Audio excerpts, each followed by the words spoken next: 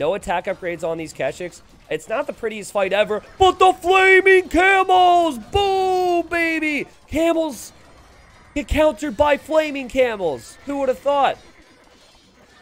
Amazing. I didn't think we'd actually see flaming camels here.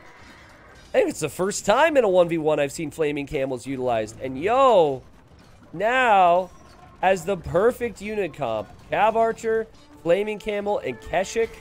Remember, you have to research the, the Treb upgrade to also get access to the Flaming Camels. It's very inconsistent and weird, but it is how it works.